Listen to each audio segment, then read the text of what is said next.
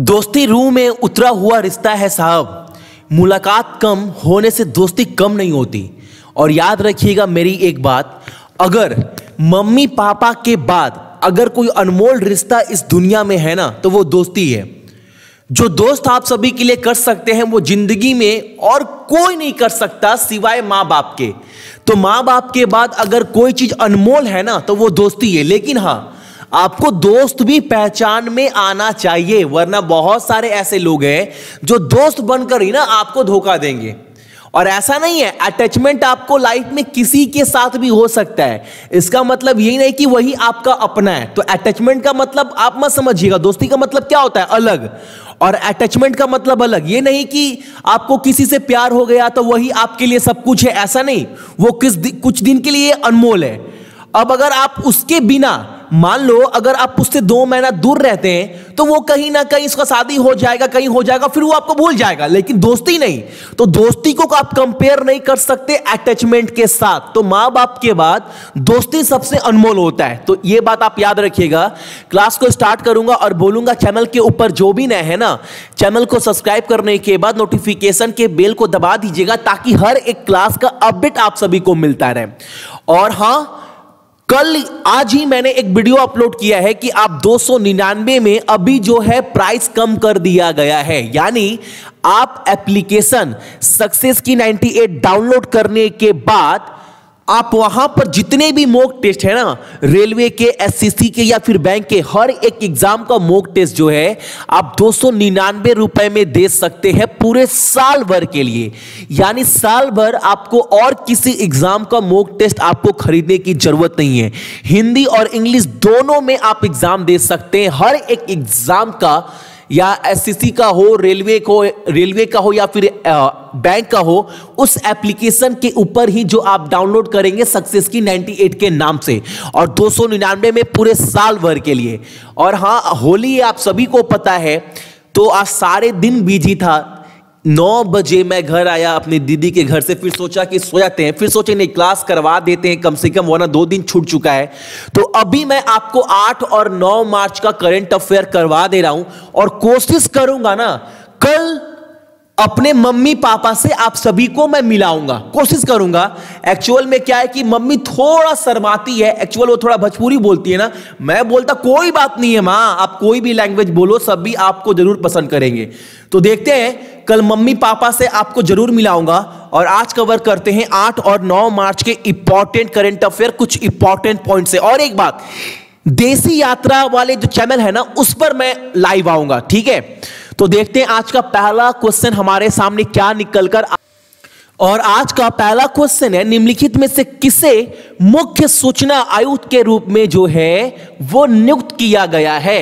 Which among the following has been appointed as the chief information commissioner और उनका नाम क्या है? बिमल जुल्का।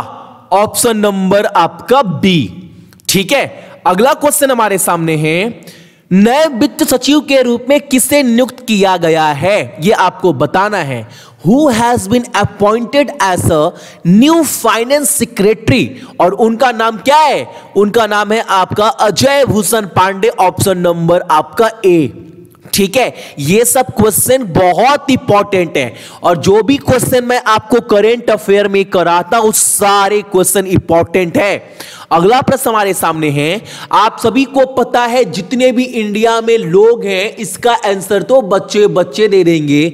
आरबीआई ने किस बैंक के खाता धारकों के लिए पचास हज़ार रुपए की निकासी सीमा जारी की है। आप सभी को पता है, जो यस बैंक है, उन्होंने बोल दिया है कि बैंक जो है, वो एनपीए की कागार पर है, यानी नॉन परफॉर्मिंग एसेट के कागार पर है। और इसीलिए आपने देखा होगा, बहुत सारा वैलेट जो है, वो एक से दो दिन तक बंद था। मार्केट में पूरा हड़कंप मच गया था यस बैंक के एनपीए होने के बाद। ठीक है? तो आंसर क्या होगा एनपीए ये सब चीज़ होने के बाद रिज़र्व बैंक ऑफ़ इंडिया ने बोला कि वह उस बैंक में जितने भी कस्टमर हैं, वो पचास हज़ार रुपए तक निकाल सकते हैं एक महीने में। ठीक है? और यस बैंक का टैगलाइन किया है एक्सपीरियंस आवर एक्सपर्टाइज वहाँ के सीईओ कौन है? रवनीत गिल नाम याद रखना अच्छे से, आप सभी एग्ज़ाम में क्वेश्चन बनेगा। फाउंडर कौन है? राणा कपूर। नाम सुना सुना लग रहा होगा। भैया, वही राणा कपूर ना, जो नोटबंदी के वक्त बोले थे कि मोदी जी ने बहुत मास्टर स्ट्रोक चला है और आज इनके साथ खुद मास्टर स्ट्रोक हो चुका है। बिल्कुल वही राणा कपूर है। और यस बैंक का हेडक्वार्टर कहाँ पर है? तो वो है आपका मुंबई में। अगला प्रश्न हमारे सामने है, केंद्र सरकार ने किस तारीख तक सभी प्राथमिक स्कूल को बंद करने का आदेश दिया है? तो आप सभी को पता है, हमारे भारत में भी कोरोना वायरस बहुत तेज़ी से फैल रहा है। इसीलिए एक से पाँच क्लास तक, प्राइमरी क्लासेस, यानी पाँच क्लास तक दो, जो है, वो जितने भी स्कूल है, जो वो 31 मार्च तक जो है, वो बंद रहेंगे। ठीक है? अगला क्वेश्चन हमारे सामने, इंदिरा गांधी ने किस अंतरराष्ट्रीय पत्रिका को 100 वुमेन ऑफ़ द ईयर सूची में शामिल किया गया? इंदिरा गांधी ने इंदिरा गांधी को 100 लास्ट पिछले 100 वर्ष में सबसे पावरफुल वोमेन्स के सूची में जो लिस्ट जारी किया गया है ना, उसमें इंदिरा गांधी का भी नाम है। और यह पत्रिका किसके द्वारा जारी किया गया है? तो टाइम्स मैगजीन के द्वारा। ऑप्शन नंबर आपका बी ठीक है? अगला प्रश्न हमारे सामने, मंगल मिशन 2020 के लिए नासा के रोवर का नाम बताना है। बहुत इंपॉर्टेंट क्वेश्चन है ये वाला। मार्स मिशन 2020 के लिए नासा का रोवर का नाम क्या है? यह आपको इस क्वेश्चन में बताना है। तो नाम याद रखिएगा, उसका नाम दिया गया है आपका परसेवरेंस ऑप्शन नंबर आपका डी ठीक है? और एक बात आप सभी को बता दूँ, नासा के प्रशासक कौन है? प्रबंधक बोलते हैं एडमिनिस्ट्रेटर बोलते हैं। तो उनका नाम है आपका जिम ब्रेंडस्टाइन। ये इनका भी नाम आप सभी याद रखिएगा। अगला प्रश्न हमारे सामने है, अंतर्राष्ट्रीय महिला दिवस कब मनाया जाता है?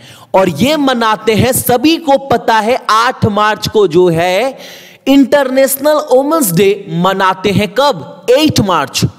और साथ साथ ये को यह भी याद रखना है इंटरनेशनल वुमेन्स डे का विषय, यानी थीम क्या था? आपको थीम भी याद रखना है। और वो थीम क्या है? I am generation equality realising women's right ये इस बार का जो है, वो थीम है। ये आपको याद रखना है। आपको बस डेट याद नहीं रखना है कि डेट याद कर लिए, काम चल गया। आपको विषय भी याद रखना है इंटरनेशनल वुमेन्स डे का। ठीक है? अगला प्रश्न हमारे सामने है। किस देश ने भ्रष्टाचार के आरोप में निलंबन के तहत सरकारी कर्मचारियों को पासपोर्ट प्रदान करने से इनकार कर दिया है? यानी कहने का मतलब है, मान लो बहुत सारे गवर्नमेंट इंप्लॉय है, बहुत सारे सरकारी कर्मचारी है, जिनके ऊपर भ्रष्टाचार करप्शन के आरोप है और उनको सस्पेंड किया गया है, निलंबन किया गया है तो उनके नाम से पासपोर्ट जारी नहीं होगा। यह पूरा स्ट्रिक्ट ऑर्डर आया है भारत सरकार के तरफ़ से। यानी ऑप्शन नंबर आपका D, India is the right answer. ठीक है? एक एक क्वेश्चन कट टू कट आप सभी को क्लियर होना चाहिए। अगला क्वेश्चन हमारे सामने है। चलसनी वेंकट नागेश्वर को किस अग्रणी बैंक के डिप्टी एमडी और सीएफओ के अतिरिक्त प्रभार जो है वो दे दिया गया है। नाम क्या है? तो नाम है आपका भैया चलसनी वेंकट नागेश्वर और इनको बनाया गया है एसबीआई का ऑप्शन नंबर बी। और एसबीआई के चेयरपर्सन कौन है? रजनीश कुमार। एसबीआई का मुख्यालय मुंबई। एसबीआई का टैग लाइन किया है ना? ये आप सभी को कमेंट कर कर बताना है। यह आपका आज का पहला प्रश्न है। अगला प्रश्न हमारे सामने है, चंद्रयान तीन के प्रक्षेपण की कब उम्मीद की गई है? एक्सपेक्टेड डेट कब रखा गया है चंद्रयान थ्री का?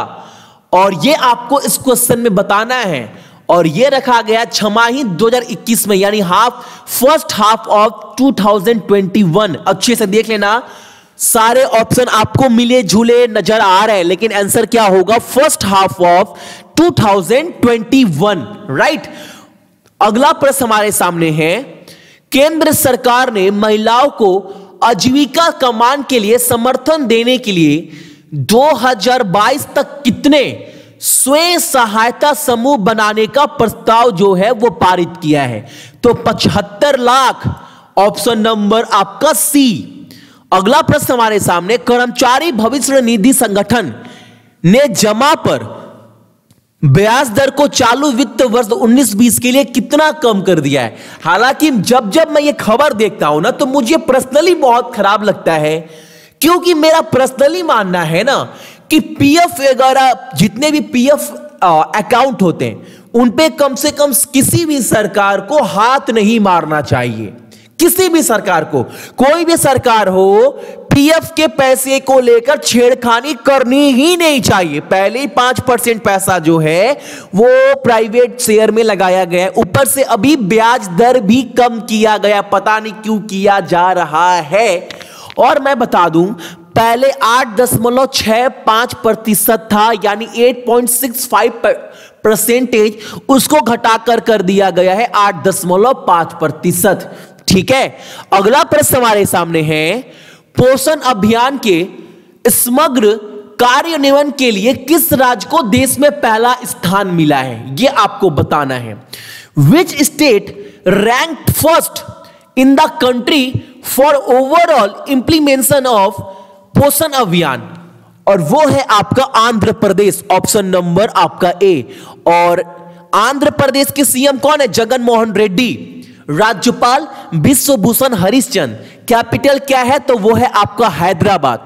Which state rank first in the country for overall implementation of Poshan Abhiyan? याद रखिएगा, आंध्र प्रदेश। अगला प्रश्न हमारे सामने है, किस देश ने चीन के बाद दुनिया में दूसरा सबसे बड़ा कोविड 19 यानी कोरोना वायरस की बात कर रहा है? मृत्यु दर्ज की है।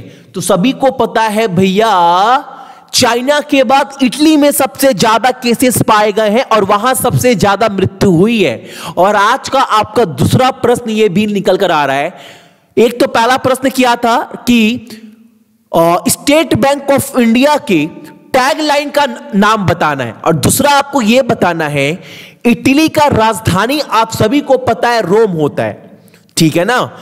और आपको बताना है इटली का मुद्रा और इटली के राष्ट्रपति का नाम क्या है? ये दो चीज़ आपको इटली के बारे में कमेंट करना है, ये आपका आज का दूसरा प्रश्न है। अगला प्रश्न हमारे सामने नहीं, ये हमारा लास्ट क्वेश्चन था। तो ये थे आपके इंपॉर्टेंट करेंट अफेयर 8 से 9 मार्च का, जो आपके एग्ज़ाम के लिए काफ़ी इंपॉर्टेंट है। और इसका पूरा पीडीएफ आपको इस वीडियो के डिस्क्रिप्शन बॉक्स में मिल जाएगा। और हाँ कल 200 क्वेश्चन का जो पीडीएफ था, आपका एसएससी सीजीएल का आया हुआ, वो क्वेश्चन भी पीडीएफ पर अपलोड कर दिया गया है। या फिर कल के वीडियो के डिस्क्रिप्शन बॉक्स में जारी कर दिया गया है। सो मेरे जितने भी भाई बहन देख रहे हैं, सभी को गुड नाइट अपना ख्याल रखना। और कल होली अपने मम्मी पापा के साथ अच्छे से मनाइएगा। ठीक है? Have a safe Holi.